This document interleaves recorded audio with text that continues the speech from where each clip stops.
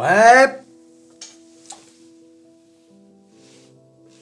De l'oseille. Et que qui n'a pas pris le train de l'oseille? Il s'est arrêté devant chez vous, je vous l'avais dit. Ne me dites pas que vous n'avez pas pris le train de l'oseille. Et que- Alors là, là les gars, je peux plus rien pour vous. là. Ah, c'est pas faute de vous avoir dit. hein. Il y a de l'oseille sur l'euro-dollar, d'ailleurs. Tiens, hein, on va commencer. Je vous avais dit, il y a un gros, bi- enfin un gros, il y a un billet, un billet à se faire sur l'euro-dollar. Vous avez dit, l'euro va monter jusqu'à 1,10$. Et qu'est-ce qui s'est passé oui? Qu'est-ce qui s'est passé hier? L'euro est allé à 1,10$. Et tout cette oseille, tout cette oseille, et je ne parle même pas de méta. Aïe, aïe, aïe, on va voir. Je ne sais plus quoi vous dire. Je, je vous ai dit que 2023 était l'année de l'oseille. l'année où le train va s'arrêter devant chez vous. C'est, c'est un train magique. C'est le train de l'oseille. Il s'arrête chez chacun d'entre vous. Il frappe à la porte. Et toi, t'es là. Oh. Y, a- ta femme. Chérie, je crois que c'est le train de l'oseille. Tu sais, le métamorphose 47. Oh là là, et, raconte n'importe quoi. Et oui, raconte n'importe quoi. Et ben voilà, tu as encore loupé le train de que- J'ai vu que beaucoup avaient pris le train. Ouais, j'ai loupé le train de Tesla. Ils n'ont pas loupé le train, le train de l'oseille. Aïe aïe aïe d'aujourd'hui. Alors pourquoi il y a eu un nouveau passage du train? Bah tout, bah simplement parce qu'il y a eu Jérôme. Aïe aïe aïe Jérôme. Jérôme a dit 0,25. Eh oui. Jérôme il a dit 0,25. Alors qu'est-ce qu'il a dit d'autre? Oh il en a dit des choses. Aïe aïe aïe aïe aïe. Jérôme, on dit que c'est Macron le roi du en même temps. Non non. Le roi du en même temps c'est Jérôme. Alors lui c'est vraiment le meilleur. Ah ben Christine elle lui arrive pas à la cheville. Christine? C'est aujourd'hui Christine. C'est aujourd'hui qu'elle parle Christine. Aïe Christine est Christine On s'en fout de est Christine. On sait qu'elle va monter de 0,5. Il n'y aura pas de surprise. D'accord Voilà. C'est, ça y est, c'est, Non, mais tu peux rester chez toi, Chris. Non, non. Bon, non, mais tu peux rester chez toi. Oui, oui, mais tu, tu continues d'être payé, bien sûr. Hein, comme les sénateurs. Ah, tu as vu les sénateurs? Ah, ils savent plus où se foutre, là. Ah oui, avec la réforme des retraites, on apprend que la retraite des sénateurs, là, par contre, on n'y touche pas. Hein tu connais l'expression avoir un train de vie de sénateur. Bon, bah là, cette expression n'a jamais été- aussi vraie. Comment tu veux expliquer aux gens? Hum, hum, hum, on va faire la retraite. La réforme des retraites, il faut faire des efforts. Et les mecs, ils, ils ont même pas touché à leur propre retraite. Ah, a- tu sais qu'un sénateur, il te suffit de 6 ans pour avoir une retraite à vie de 2200 euros par mois. Et ça, c'est cumulable avec tout le reste. Oh, qu'est-ce qu'on a bien mangé? Bien sûr, monsieur le président. Ah bah, monsieur le président, qu'est-ce qu'on fait maintenant? On va, aller- on va digérer un peu. On va aller chez Robert, tu sais, une brasserie. Hein, on va aller chez Robert, boire un petit coup. Ah oui. Ah, ça arrive vers 16h. Alors, au programme. Mmh, très bien, allez, au revoir. Ah, et voilà, la journée est finie. et que le chauffeur attend. Hein, vous allez bien, Fernand? Oh, ben, toujours aussi bien, monsieur le président. Voilà, allez, à la maison.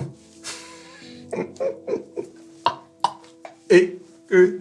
Aïe, aïe, aïe. Un train de vie de sénateur. Ah, C'est ça qu'on veut tous, faut être honnête. On veut un train de vie de sénateur. Quoi d'autre? De l'oseille, Fernand, et n'en rien à foutre de la journée. Aïe, aïe, aïe. De l'oseille. Vous allez voir à nouveau là ce qui s'est passé. Je vous avais dit, hein. je vous avais dit que le train de l'oseille, ceux qui pleurnichaient un peu parce que ouais j'ai loupé Tesla. Tous les jours, il y a des milliers d'opportunités chaque jour. Chaque jour. Et 2023 va être un festival. 2023, vous avez vu, sur Twitter, j'ai même changé mon, ma bannière. Ça s'appelle 2023 sera. Ne loupez pas le train de l'oseille. Il y a tellement d'oseille à se faire. Aïe, aïe, aïe. Alors, on va un peu raconter ce qu'il a dit, Jérôme, hein, parce qu'on est un peu là pour ça aussi. On est là aussi pour être un peu sérieux. Alors, qu'est-ce qu'on a dit? La Réserve fédérale a relevé mercredi ses taux d'intérêt à court terme d'un quart de point de pourcentage, portant son taux de référence dans une nouvelle fourchette de 4,5 à 4,75%. Ah, je vous rappelle que ils ont relevé leur objectif à 5,1, quelque chose comme ça. Il lui a été posé en conférence de presse à Jérôme, on lui a dit est-ce qu'éventuellement, si l'inflation vraiment venait à baisser, euh, est-ce qu'il y aurait peut-être un moyen de euh, arrêter complètement, voire même de baisser les taux d'intérêt? Il a répondu euh, Nous avons des outils au cas où ça se passerait. Nous avons les outils, nous avons les outils pour traiter ce genre d'événements. les réponses, les réponses. On lui a demandé comment réagissez-vous ce rallye de la finance C'est-à-dire, rallye, c'est rebond. Il a dit non, je, je, la journaliste lui demande, ou le journaliste lui demande, est-ce que ça vous inquiète? Normalement, il aurait dû répondre, oui, je suis très inquiet, pour montrer que, attendez les gars, c'est pas fini là, on a encore une inflation, parce que l'objectif de la fête, c'est d'avoir une inflation à 2%. Donc il aurait dû répondre, oui, oui, je suis, je suis inquiet, il faut se calmer, c'est pas pour aujourd'hui que je vais baisser les taux d'intérêt, etc. Il a dit, non, mais de toute façon, hein, la finance, c'est leur métier. Moi, j'ai un autre métier. Il a un peu esquivé le truc. C'est quand même extraordinaire, ça. Hein. Ça, c'est extraordinaire. Ça, ça a envoyé les marchés. Allez hop, c'est bon, il a plus rien à foutre. Allez, hop, on y va. Le rallye, le rallye. Ça, c'est incroyable, ça. Normalement, il aurait dû, tu tempérer, parce qu'il faut tempérer. C'est le président de la fête, tu vois. Il n'est pas là pour se faire de l'oseille, lui. il est là pour réguler le marché. Et donc, euh, sa réponse a été quand même extra. Même moi, moi j'étais là, j'aurais ah oui, oh là, ah oui, ah, d'accord. Donc il était là. Alors ils ont dit attention, hein, il a dit en conférence de presse, Jérôme, il a dit l'inflation n'est pas finie, nous continuerons de combattre l'inflation autant euh, qu'il le faut, voulant dire que s'ils doivent augmenter les taux d'intérêt euh, encore euh, pendant des mois et des mois, ils le feront. Mais voilà, mais le marché s'est dit bon, ok, 0,25, c'est ce qu'on avait prévu, c'est ce qu'on avait pricé. Allez, maintenant, on va pouvoir monter tranquillement. On va voir les indices, bien évidemment. On va voir un peu tout ça. On va voir comment on s'est fait de l'oseille. Aïe, aïe, aïe. Les gars, pour ceux qui sont toujours pas montés dans le train, il n'est pas trop tard. Je vous l'ai dit, je dois être le mec le plus bullish de France. D'accord? Vous ne trouverez pas plus bullish que moi. Oh, ça peut redescendre. J'en ai rien à faire. Je te dis que 2023 sera l'année où on va casser les all-time highs. D'accord? On va casser les all-time highs, c'est tout. Sauf accident, guerre qui dégénère, etc. Mais bon, je pense pas qu'on en prenne le chemin, mais sur ce plan-là, il faut jamais euh, s'avancer. Euh, euh, il faut jamais trop s'avancer. Concernant la guerre, la Fed a noté que la guerre euh, entre la Russie et l'Ukraine ne contribuait plus à la pression à la hausse sur l'inflation. D'accord? Donc l'excuse de la guerre en Ukraine, c'est fini. La Fed considère que c'est terminé. Mais a déclaré que ce conflit contribuait à l'incertitude mondiale. Voilà, donc... Hein. Mais t'as vu un peu? Le mec, il le dit noir sur blanc. Hein. Le truc en Ukraine, ça ne, ça ne, n'a plus d'incidence sur l'inflation. Eh oui, bah va dire ça aux politiciens. Oui, oui, oui, c'est l'Ukraine. C'est l'Ukraine C'est l'Ukraine. Voilà. Il s'est montré donc optimiste concernant l'inflation. Il a déclaré, tenez-vous bien, nous pouvons maintenant dire, et c'est vraiment la déclaration de la conférence de presse, hein, nous pouvons maintenant dire pour la première fois que le processus de désinflation a commencé. Et oui Sacré Jérôme Ça y est Le processus de désinflation. Je dis, allez, accrochez-vous, c'est parti, allez, on y va. Alors on va voir hein, l'effet euh, explosif de, euh, de l'annonce. Je rappelle qu'il était pricé quand même. Hein. C'était pricé. Mais bon, il y a toujours un petit effet. D'ailleurs, je ne suis pas surpris qu'aujourd'hui, euh, ce soit rouge. Hein. C'est possible. Mais regardez, S&P 500 qui a pris 1,05%. Vous avez vu, hein ça traînaillait là, on attendait, hein, tout le monde attendait la Fed, et bing Mais bon, t'as vu une baisse euh, en fin de journée. Hein. Donc ça, c'est à noter aussi. Le dos qui est repassé euh, au-dessus des 34 000, hein, qui, euh, bah, en début de journée, était en dessous des 34. D'ailleurs, le S&P 500 est bien, est bien passé au-dessus des 4000. Et bien sûr, le Nasdaq, plus 2%, je crois qu'il est monté jusqu'à 2,8, redescendu. Mais regardez, hein, 11, 11 800 et quelques. Donc là, on a vraiment dépassé les 11 500. Je vous disais, il fallait vraiment sortir du 11 500 euh, définitivement. On va voir sur les graphiques, bien sûr. Voilà. Donc là, on a vraiment euh, une. Il s'est passé quelque chose. On est en train de se détacher. mais il faut, le voir sur les graphiques. Le CAC 40. Bon, ben, il n'y a pas grand chose à dire, hein, puisque de toute façon, euh, tout ça, ça s'est passé après la clôture. Voilà, bon, le CAC 40, il range. Voilà, il s'est rien passé. Hein. Rien du tout. Hein. Il est à 7000 euh, et quelques, 80. Voilà. Donc, euh, on va voir donc ce matin l'effet de l'annonce sur le CAC 40. Donc, on va, on va passer le CAC 40, il n'y a, rien à en dire. Le Dow Jones Oh, Jones Il est toujours dans sa zone support-résistance, là, regardez. Toujours. Voilà, pour en sortir, il faut, il faut aller euh, au-delà des 34 200. Pour l'instant, on n'y est pas. Hein. Eh, vous avez vu, la, réaction de Dow Jones, ça n'était pas extraordinaire. Hein. Mais c'est comme avec, le, c'est comme avec le, CAC 40. Ils ont tellement pris depuis octobre. Donc du coup, euh, voilà, il y a quand même, euh, on a quand même pris 17%. D'accord? En quelques mois, c'est énorme.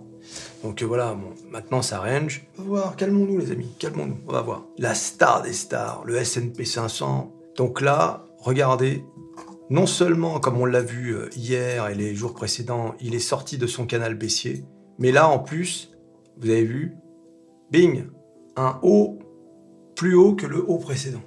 Et qu'est-ce que je vous avais dit? Hein, Pour voir un peu comment ça marche, pour que euh, on constate une tendance, un reversement de tendance, il faut que les plus hauts soient plus hauts que les hauts précédents et que les plus bas soient plus hauts que les, bas précédents. Et oui Si t'as rien compris, c'est pas grave. Hein, juste abonne-toi, c'est tout ce que tu as à faire. Abonnez-vous. Abonnez-vous à Twitter. Il y a eu une activité sur Twitter incroyable. On est, au moment où je vous parle, on est 898. On va arriver à 900. Il faut qu'on arrive à 1000. Il faut qu'on arrive à 1000, les amis. Que j'ai pas l'air d'un con. Vous voulez que j'ai l'air d'un con, ça vous voulez On arrive à 1000. Les amis, il y a de l'oseille. l'oseille. On aime le. Il y a un mec qui m'a dit sur Twitter J'aime l'oseille, il m'a dit. Bah, c'est surprenant, ça, tient. que j'aime l'oseille, qui m'a dit. Et eh, moi aussi, je lui ai répondu. Aïe, aïe, aïe. Je lui ai répondu C'est étrange, ça tient. Donc là, on, a, on avait un plus haut là, et vous avez vu, là, il est plus haut. Donc, qu'est-ce que ça veut dire? Ça veut rien dire pour le moment. Ne vous faites pas d'illusions. Parce que je vous ai dit, pour euh, constater qu'on retourne à un bull market, déjà il faut voir faut faire un zoom arrière, comme vous pouvez le constater. Le vrai plus haut euh, qui sera le plus important, c'est celui-là. D'accord? C'est celui-là. Il faudra venir à un point qui soit plus haut que celui-ci. D'accord? Donc que ça fasse ça, regardez. Ce point bas, donc plus haut, plus haut, et le deuxième point plus haut, là, tu peux parler de retour au bull market. Vous imaginez, on n'est que là. Hein. D'accord? Ce que je suis en train de vous dire, c'est. Là, on est en train de parler de 10% seulement. C'est pas, euh, pas quelque chose d'impossible. D'accord? Ah, Ça va pas aller en, en, ligne droite, bien évidemment. Mais voyez le dessin que j'ai fait là On est mi-mai. Hein? On est mi-mai je vous ai dit que 2023 sera l'année de l'oseille. Voilà. Je, je, vous ai dit, hein, ça fait des mois que je vous dis que j'en suis convaincu. Le train de l'oseille. Et tous les mecs là qui vous ont dit, oui, euh, ça va s'effondrer. Non, pas s'effondrer. Et je vais vous dire, tiens, hein, j'aime bien toujours faire le scénario euh, pessimiste. Quand bien même ça reviendrait là, tu vois, même si ça vient, je te dis, ça va remonter. C'est écrit. C'est écrit sur Métamorphose Donc, alors après, je sais pas si quelqu'un m'écoute, mais en tout cas, c'est écrit chez moi. Il y a de l'oseille. Vous ne pouvez même pas imaginer. Quand je vois tout le temps, vous pouvez même pas vous imaginer l'oseille qu'il y a à se faire. Je crois que vous comprenez pas. si vous comprenez, parce qu'il y a plein de gens qui ont pris le train de l'oseille.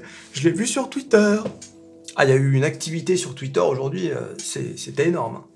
L'une de mes plus grosses journées. La drama queen Le Nasdaq, bien sûr la drama queen, qu'est-ce qu'on a avec la drama queen? Eh ben regardez, on a, on est vraiment, euh, là on est passé au-dessus de cette euh, ligne de résistance hein, qui était à peu près à 11 600. Alors on a atteint les 11 900, ça veut dire que on a presque atteint les 12 000. Les 12 000 points, on a tellement de chemin à faire avec le Nasdaq. Regarde, on revient en arrière parce que c'est, il faut revenir en arrière, sinon on comprend rien. Hein? Ça, t'a compris. Il a compris.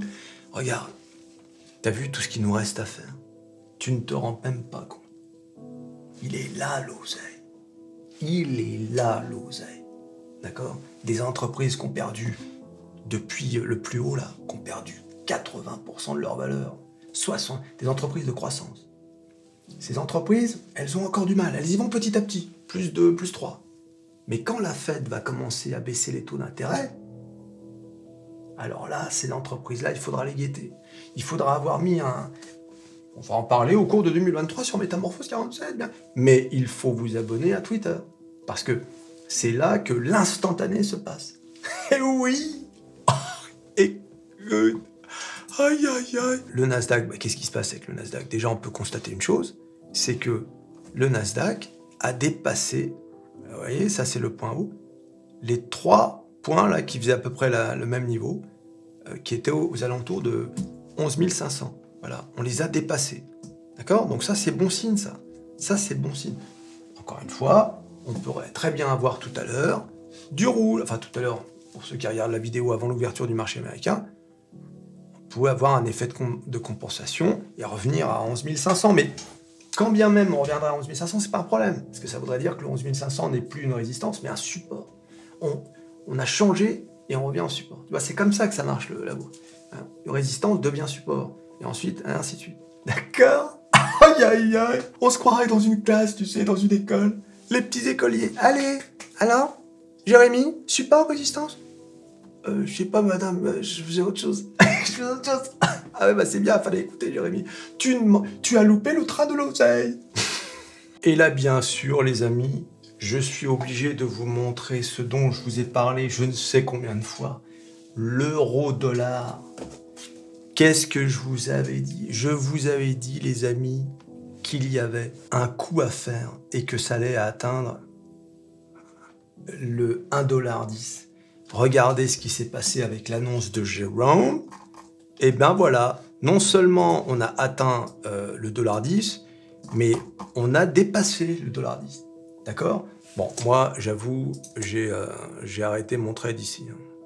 Je crois que j'ai dû... j'ai dû l'arrêter juste avant. Et eh oui Moi, j'arrête toujours avant l'objectif, en fait. Tu vois Parce que combien de fois je me suis fait avoir à mettre mon, mon euh, take profit à la ligne pile poil et finalement, ça y est, c'est pas allé. Donc voilà, juste un petit peu en dessous, quelques pips, un ou deux pips, et puis ping, c'est tombé dessus. Aïe aïe aïe. Donc là les gars, à nouveau, de l'oseille. alors, pour l'instant, on va laisser reposer. Hein, on, va, on va voir si un indice devient désormais un support, ou si, comme ça arrive très souvent, il y a un petit coup de boost parce qu'il y a eu le discours de la Fed, mais si derrière, on sent que euh, la BCE ou les marchés ne sentent pas encore euh, l'opportunité de renforcer l'euro, eh ben, tu peux très bien à nouveau assister à une baisse euh, de l'euro-dollar. D'accord? Mais généralement, effectivement, ça donne un coup de boost. Mais il faut que derrière, il faut que derrière le, marché soutienne l'euro. D'accord? Et ça, ça dépend aussi de la, politique de la BCE, de l'économie européenne, etc. Hein Vous savez que la guerre en Ukraine, bah regardez, hein, de toute façon, c'est pas difficile, hein. il suffit de regarder les graphiques, c'est terrible. Ça a eu un effet terrible. Regardez, ça c'est la guerre en Ukraine. T'as vu? Voilà. Donc là, on est quand même en train, petit à petit. On était à combien euh, avant la guerre? On était à 1,14. Et on était, avant ça, on était à 1, pardon, à 1,22. D'accord? Donc ça, l'inflation, les problèmes d'inflation qui ont commencé, comme je vous ai dit. Hein. L'inflation, c'est euh, pas la guerre en Ukraine. L'inflation, souvenez-vous, c'était avant même 2022. C'était déjà fin 2021. D'accord? Les gens qui disent la guerre en Ukraine, c'est l'inflation. Non, c'est le, le pire mensonge qu'on a pu entendre pendant tout 2022. c'est incroyable. Hein. Ça, c'est vraiment le truc qui m'a énervé, ça y est d'ailleurs. Parce que. Enfin bon. Voilà, donc. Euh, l'inflation et euh, la guerre en Ukraine qui n'a rien arrangé. Euh. Alors, ça, bien évidemment, ça va pas faire les affaires d'Airbus. Hein. Airbus a besoin d'un euro faible. D'accord? Et oui, si vous ne savez pas pourquoi, allez voir ma vidéo sur Airbus. D'accord? Et oui Allez voir ma vidéo sur Airbus, de toute façon. Airbus, Eutelsat, ce sont deux vidéos que vous devez aller voir. C'est impératif, d'accord Pour comprendre la situation des deux entreprises. Voilà, donc là encore, il y avait un, beau billet à se faire, euh, bien évidemment. Alors, hier soir, il y avait une entreprise majeure qui euh, avait ses résultats. C'est Meta. Meta, qui était dans un canal haussier depuis novembre, regardez. D'ailleurs, y avait-il des gens qui savaient que ça se passait plutôt bien chez Meta et qui ont acheté des actions? Tant qu'il n'y a pas de preuves, tout va bien.